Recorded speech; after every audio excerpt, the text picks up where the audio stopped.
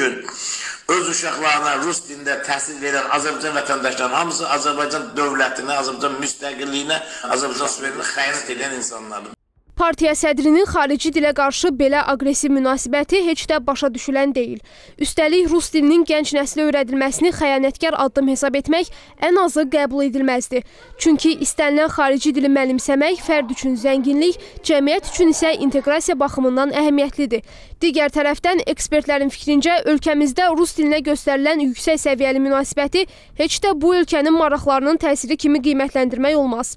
Rus dilinin və digər dillərin, ümumiyyətlə kənar dillərin öyrənilməsi insana daha çox e, elmə, daha çox biliyə, daha çox elmi mənbələrə çıxış imkanları yaradır. Mən hesab edirəm ki, Azərbaycan məktəblərində Rus dilinin tədris olunması, rus dilli məktəblərin mövcud olması, rus sektorunun mövcud olması və insanlarımızın bu dilə, bu sektora marağının genişlənməsi e, Rusiya maraqlarının Azərbaycanda təbliği deyil, əksinə Azərbaycan maraqlarının gələcəkdə Rusiyada və digər rus dilli dövlətlərdə Rusiya dilinin, rus dilinin başa düşüldüyü, danışıldığı dövlətlərdə Azərbaycan maraqlarının təmin olunması və Azərbaycan lobbiçiliyinin həyata keçirilməsinə müsbət təsir, müsbət kömək etmiş olar.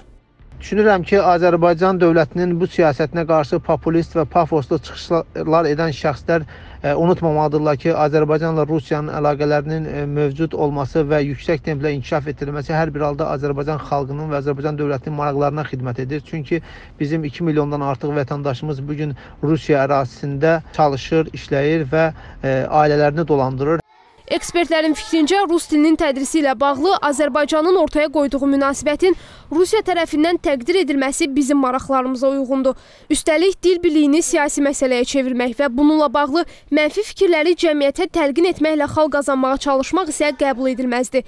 Təkcə onu nəzərə almaq lazımdır ki, vətən müharibəsində ölkəmizin ərazi bütövlüyü uğrunda canını fəda edənlər arasında rus əsilli vətəndaşlarımızla yanaşı təhsilini bu dildə alan azərbaycanlılar da var idi.